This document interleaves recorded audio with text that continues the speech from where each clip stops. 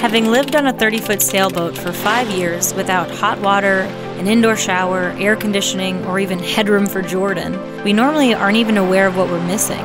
Hey, morning, bud. Morning. Boy, that's a pretty spot you got there. I know. You sure you want to live on a boat? but after living in the States for a month with all of the luxuries of middle America, a part of me wondered if I'd still want to live in such a small boat. Would Atticus still feel like home? Oh, she's still floating. Yeah, it is good news. What you doing there, bud? Oh, trying to stave off depression. this is one of those low moments. We'll get Atticus back to normal and she'll feel like like home again. You want an encouragement pound? Encouragement!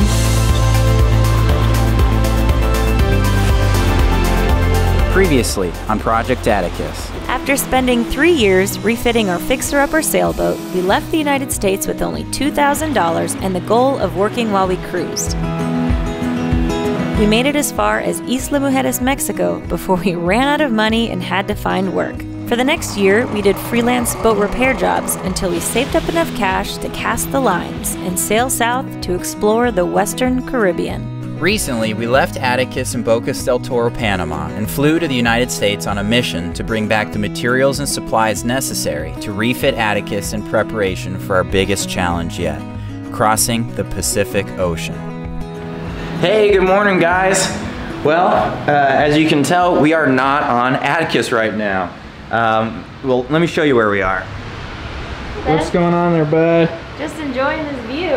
Yeah, without, no like, kidding. freaking out. Not used to being so high. We are in Panama City, uh, and we are at a really cool apartment. Uh, one of our viewers, Hector Vega, thank you so much, is letting us stay here for a couple of days while we get ahead on an episode, and then use this kind of as our staging ground to repack all of our stuff to get back to the boat so we can start tackling our projects. And we have 200 pounds of stuff that we need to fit in all these bags and take with us back to Atticus. There's three ways that we can bring stuff onto this little airplane. We can personal items, bring those onto the plane with us, but they have to weigh four kilos or less. Then we can check a bag each, but that bag can only weigh 14 kilos. And then everything else beyond that, we just have to pay per kilo. So right now, what I'm trying to do is I'm trying to get exactly 14 kilograms into our checked bags. And we're at about 13 kilos. So I think if I just throw these in there, What are we at? there you go, 14.2. Nice. I'm gonna I'm gonna say that's acceptable. yeah, I'll just smile. Yeah, that's right.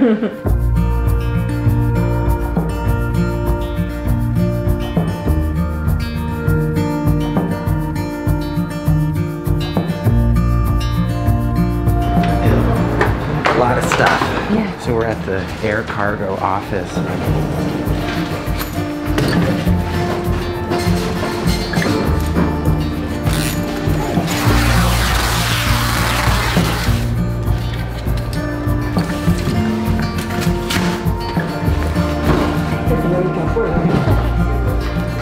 You think that's enough stuff, bud?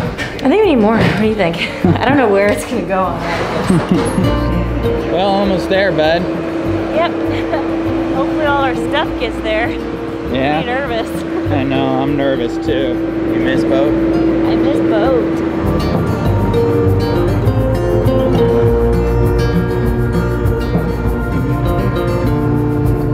There's the canal. It's where we'll be in a couple of months.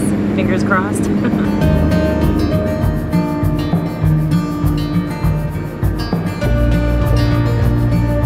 Okay, let's uh let's hope our stuff is all here. All right, we got all of our stuff. We got a cab. Muchas gracias. Gracias. Good to have a boat. Voy a prender. Gracias. Almost there. We're minutes away from being done with this whole ordeal.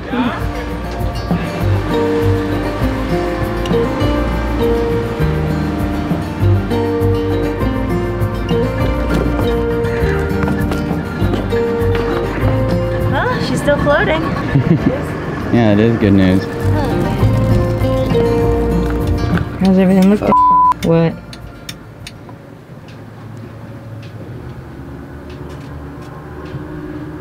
Mm. So I'm not entirely sure what's going on, but I'm not getting electricity to a lot of the lights and stuff. Um, the fridge has got electricity. How's it smell? It is not very cold. That's what we get for leaving Atticus too long.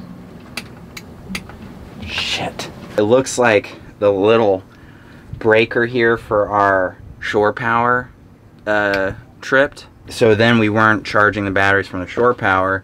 And then I guess the solar panels just didn't keep up with the refrigerator. Our house bank is just dead. Right now I've got this stuff running on the uh, starter battery. Anyway, let's get some air in here.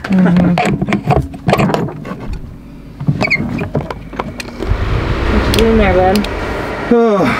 trying to stave off depression. There's just mold all over the place. And it just smells like it's got that terrible musky kind of smell in here.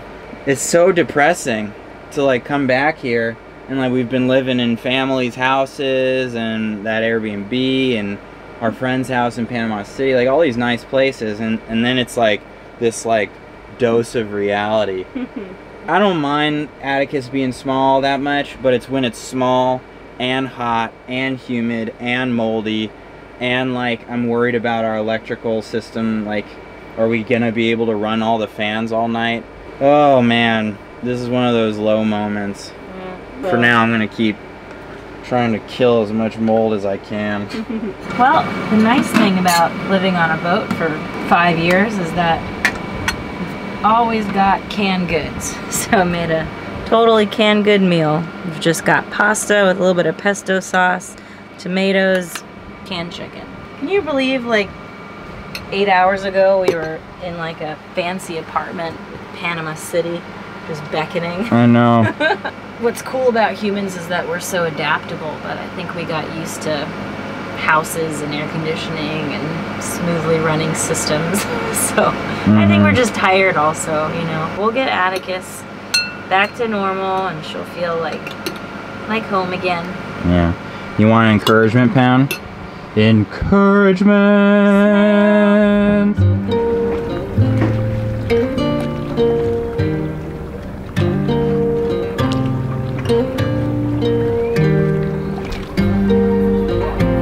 All right, good morning. How's morale today, bud? I think yours is up and I'm just dreading all the work we have to do. It's because you have to go into town Yeah, to go I shopping. hate going Every into time she has to go sh- like grocery shopping, she just like gets into this terrible mood. Yeah, I just dread it. And then I go and it's fun. But Yeah. every time. Although we weren't expecting to have to do this, we're just gonna take the next two days and just do a deep cleaning of Atticus. And that'll help us to figure out where the heck we're gonna put all that stuff. I don't know where we're gonna put it.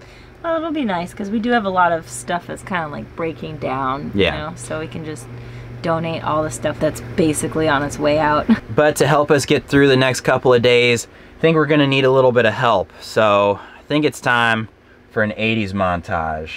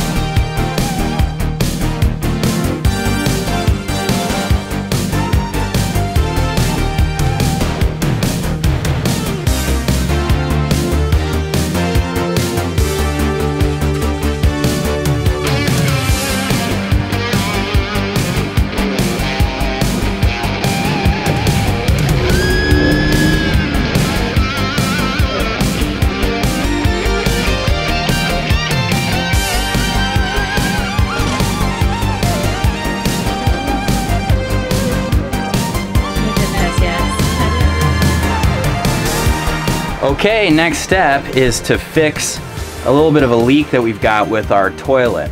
So when we arrived to the boat last night, we started pumping the, the little hand pump on the toilet, saw that there was water coming up out of the shaft seal. Luckily, I've got a spare, not only do I have a spare shaft seal, I've actually got a spare seal housing. So hopefully I can just unscrew the old one and then screw this right on.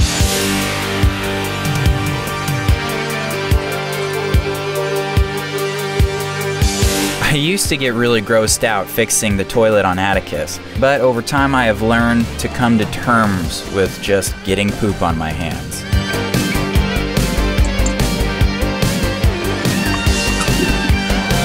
So now what we're gonna do is we're going to take everything out of these bags, organize it all, figure out where we're gonna put it, and then just attack one of those spaces at a time. You know, it feels kind of good to like reorganize the boat.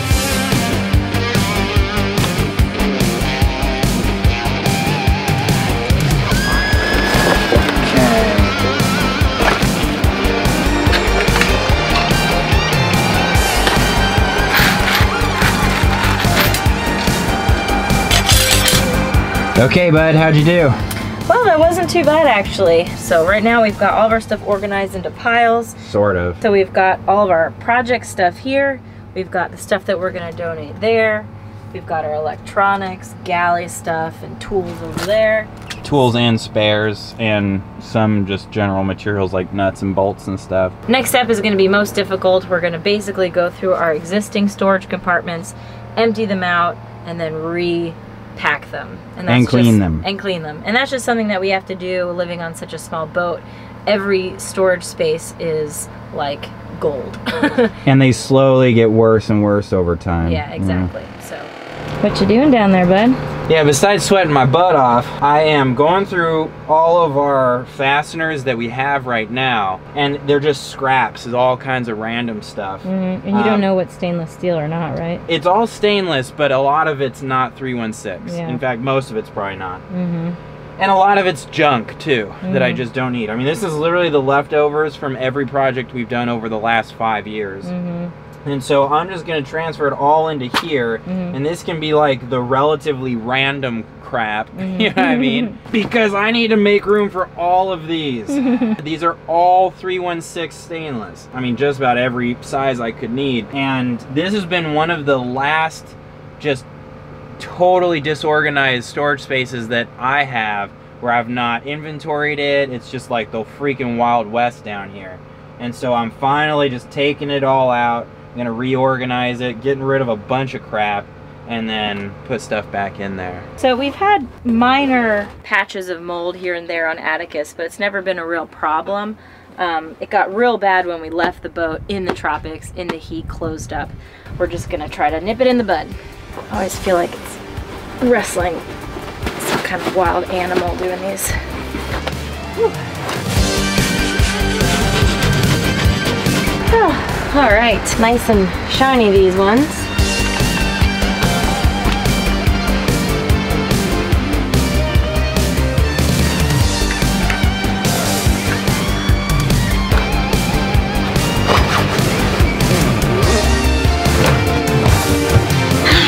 What's good, bud? Almost there. Well, we cleaned up the cockpit. It was beautiful, and then I destroyed it by putting all of my sewing gear everywhere. so I've been meaning to inventory all of my sewing stuff, and I haven't done it yet. So I'm gonna just sit down and do that now. And just to show you, this is where it's been hiding for the last couple years. Basically, with so little space on Atticus, we've converted our only hanging locker into more storage. Less than ideal, but it works.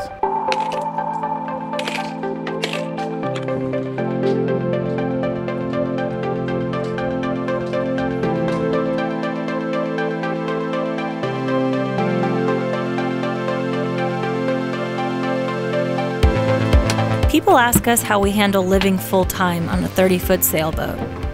At the end of the day, home is what you make it. If you roll up your sleeves and put your heart into your living space, even a 30 foot sailboat can feel like home. And the great thing about Atticus is that our front yard is always changing.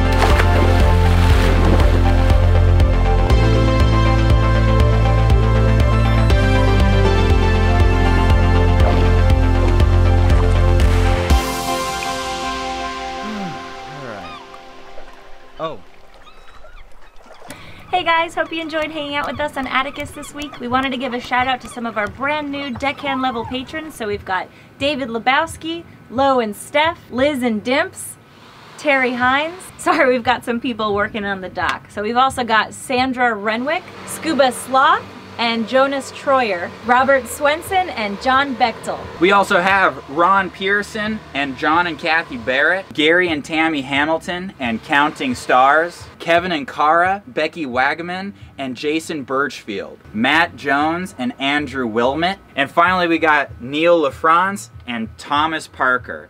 So thanks guys for joining us this week and thank you so much for your support. It's because of you guys that we can put so much time and effort and love into these episodes.